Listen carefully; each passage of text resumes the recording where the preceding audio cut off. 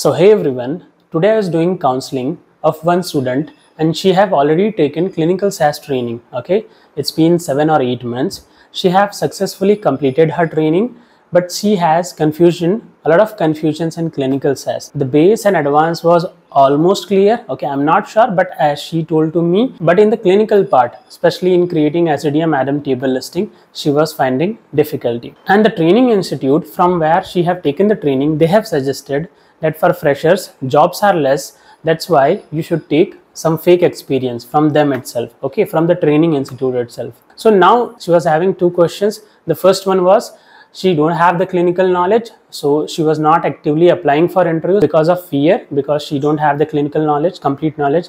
And she was thinking that she needs to work in clinical so she should have 100% knowledge of the clinical part. On top of that how to find jobs because as per the training institute they have suggested to get fake experience from them itself. Now, few things or few suggestions I have given to her and the same things I'm going to explain you because this can be a common dilemma or questions for each and everyone. Now, let's suppose you have completed your base advanced and clinical training. In most of the cases, what I found students successfully complete the base and advanced training but they found difficulty in the clinical part now the question is why a lot of students find difficulty in understanding or learning clinical part? Is it too much difficult or what is happening? Is the training institute is not giving the training properly? Okay, from the training institute, there can be XYZ scenario but let me tell you about the clinical part the clinical part is something it is not something that in the training itself you will understand 100% but if you are understanding it till 60% or 70% that is enough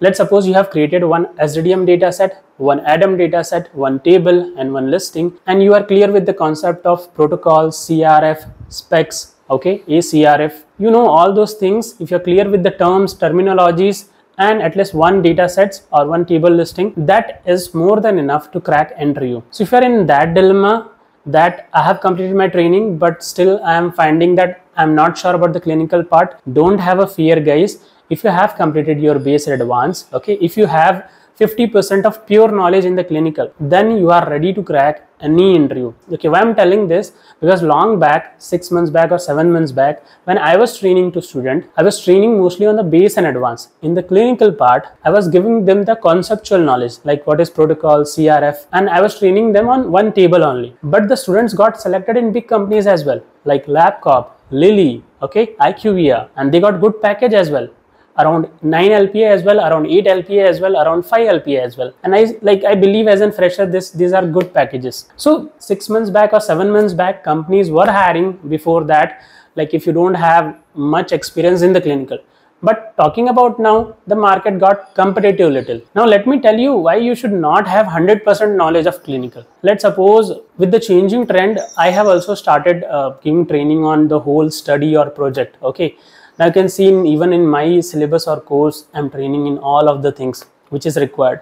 Now the second question of the student who called me for counseling, let's suppose somehow I get training and she was telling to again taking training from me, okay. I simply told her that if you're confident enough in the base advance, if you have 50% knowledge of clinical, then you should start looking for job okay then you should not again spend for training but if you feel you are not confident in the base advance itself and even in the clinical then you should take the training or you should revise the whole thing. Now coming to job scenario. Why the institute itself they told that for freshers jobs are less you should get uh, fake experience. Okay why the institute itself suggested? And the student was asking to me sir is there any job for fresher? Because the institute itself they have told me that jobs for freshers are less very less so you should get fake experience. So with the first question hope you all are clear. Okay if you are having enough knowledge in the base advanced and clinical then you should not consider taking training again. Okay you should revise by your own. Now coming to second question. Okay is there any job for freshers for clinical SAS programmer? Because some of the training institute itself they are suggesting to get fake experience from them itself.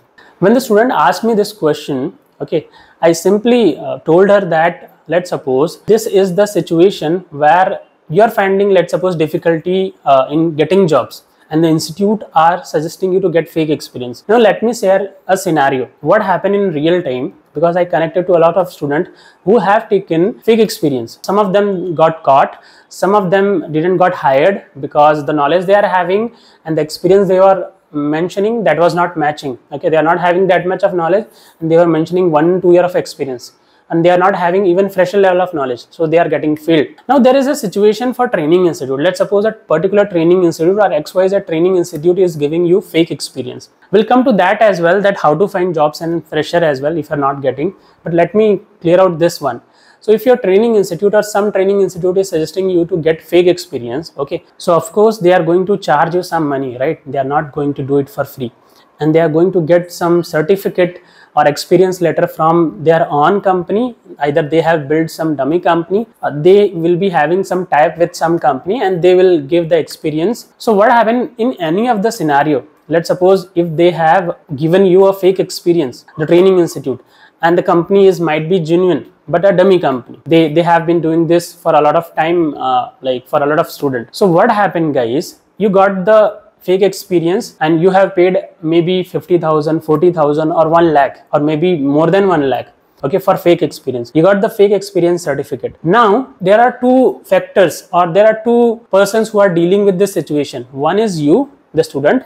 Another is training institute. From training till getting fake experience you are upfront paying the money to training institute it means let's suppose you have spent 1 lakh or 2 lakh. You got everything from the training institute. Let's suppose in the best case you got very good training and you got fake experience. Now once you start applying in a company so there can be a scenario you are getting job or you are not getting job because you are using fake experience or you are not having that much of knowledge. So in that case what happened you might lose or you might end up with uh, frustration that I'm not getting interviews. So in this situation, what will happen once you put experience now, one or two or three year experience, you'll start getting a lot of interviews. But most probably chances are very high. You'll fail all the interviews and even in some of the interviews, they'll caught you that the knowledge you are mentioning that is not real actually you are mentioning two or three years but you don't have even knowledge as a fresher so you will as a student you will end up with frustration and demotivation why i'm telling you this because i have already trained to some students they got already training from some other institute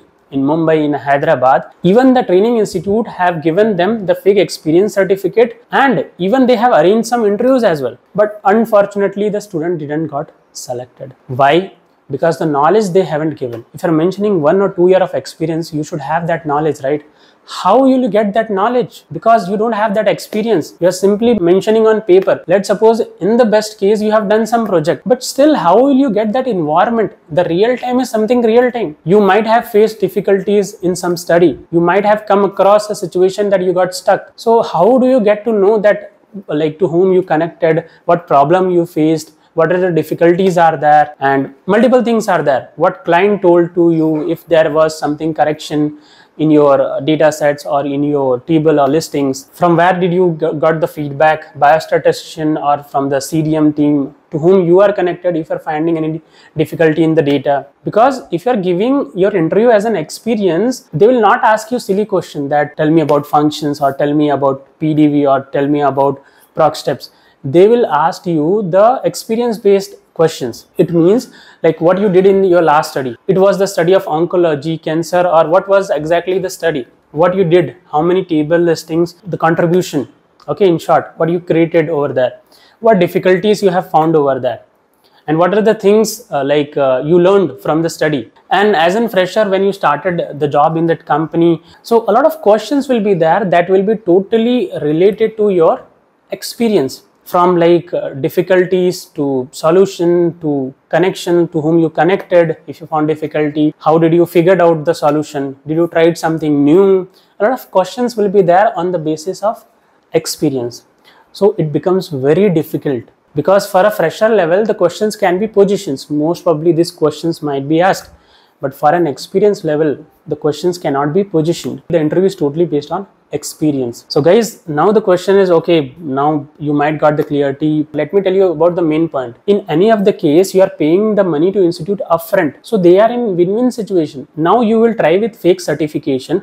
Might be you will get job but 90% i'm damn sure that you will end up with frustration you will not get the job. But the training institute got their money right? Upfront. You have paid them for training you have paid them for fake certification. They got their money. So they are in win-win situation at the end of the day you will lose up with demotivation. Why? Because you are mentioning two years you're not having that knowledge. So it's better to with the fresher level only get the fresher level training and work on some project as well work on some study as well create SDTM Adam table listing the real time things which is required. So even as a fresher by seeing your skills they will select you. It is not something mandatory. Yeah but unfortunately it will take time. The journey can take time up to 8 months from the day you are learning and till the date you are getting job. But i'll not suggest because you are making a win-win situation for the institute and even you cannot complain to someone that i have taken fake experience and i'm not getting the job. You cannot tell the institute you are responsible. You have given me fake certification but you haven't given me that much knowledge. Ultimately you'll feel or you'll end up uh, finding like i am someone who is not able to crack the interview. You'll end up with this concept. And same way if, you, if you're doing something wrong you'll not complain tell to someone about this because you are someone who agreed upon this. And this is happening openly in india guys. This is happening now openly.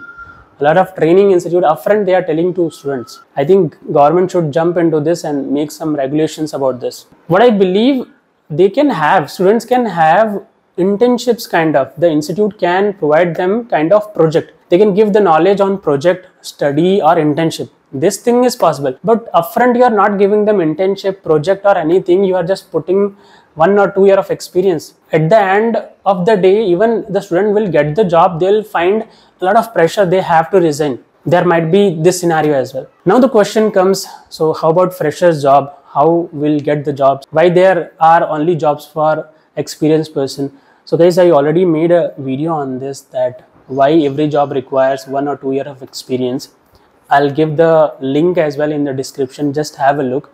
I'll tell you in this short what happened guys. Whenever you start looking for jobs, any jobs on internet, not only for clinical SAS programmer, okay, on job portals like LinkedIn and Naukri.com, you'll always find the vacancy that requires one or two year of experience. So that one or two year of experience, whenever we see, we feel like, okay, there is vacancy, but every vacancy is asking for one or two year of experience. And we end up feeling, okay, that is my vacancy but guys that vacancy is for someone who is having one or two year of experience. And the company is finding difficulty to find a candidate. Because of one or two year of experience guy will be trying to give some stability in the same company right? If he's not jumping. Most probably people will jump from one company to another company just after one year as well two year as well but a lot of people they do not also. The company will always seek for some people who can jump the company after one or two year because they require. Because people change the companies every one or two or three year in this trending roles or demanding roles. Let's suppose a one year experience guy will be someone who will be already having one year of experience. He might be working in some company xyz company right? So what will happen? Even he got selected in the y company. So what will happen? He need to serve the notice period for one, two or minimum three months. Okay, he cannot join the next company before three months or two months. So for the two or three months, the next company might be have to keep open that post. Okay, because even sometimes what happened, the candidate got selected. Okay, company have selected one year experience guy. Now he will he will be released from the current company after two or three months. But sometimes what some candidates do, they will give another interview and again and another interview uh, they will ask for more hike and they will not join the first company. They'll join the company which is giving them the highest pay. That is very common. Okay so that's why they have to keep the post open for two or three months most probably until unless the candidate is joining the company. In the fresher case what happened? In the fresher vacancies company put the vacancies on portal or on their internal websites and quickly they get the candidate mails a lot of mails and a lot of cvs and for freshers, the companies knows that most probably this candidate will give the interview on the date they have decided and most probably they will take the interviews for a lot of people. In most of the case, the selected candidate will join the company. They'll not jump here and there and they'll not go for another company. They will be surely joining the company and that is very clear because freshers are someone who are actively looking for job so then don't jump here and there. So most probably what happened. So in the fresher scenario, once they get the interviews, they will quickly give the interview. And if they crack, they will quickly join the companies. But this is not the case with experienced person. So most probably fresher interviews, what will happen? The companies have to shut down those openings quickly. Okay, because a lot of people have applied and they are sure about it. They are going to join for sure. So they will put the vacancy down. But in experience uh, vacancies like they have to revolve around for three months or two months because the candidates are not joining most probably. There is a buffer period of two or three months. That's the case. So guys, hope you got some clarity. If you find this content useful, do share with your connections who are actively looking for job in SAS or going to start their journey in SAS. I have already made a lot of videos on SAS on my channel for the people who are looking for jobs, for the people who are going to start their preparation, Uh, for the people who are going to prepare for their interview. Okay, all types of video on SAS I have already made and uploaded on my channel. Further videos as well, according to your comments, according to your demand, I'll make it. And i'm training on SAS as well. For that also you can connect to me. So if you find this content useful do share with your connections. And let's meet in the next video. Till the time bye bye everyone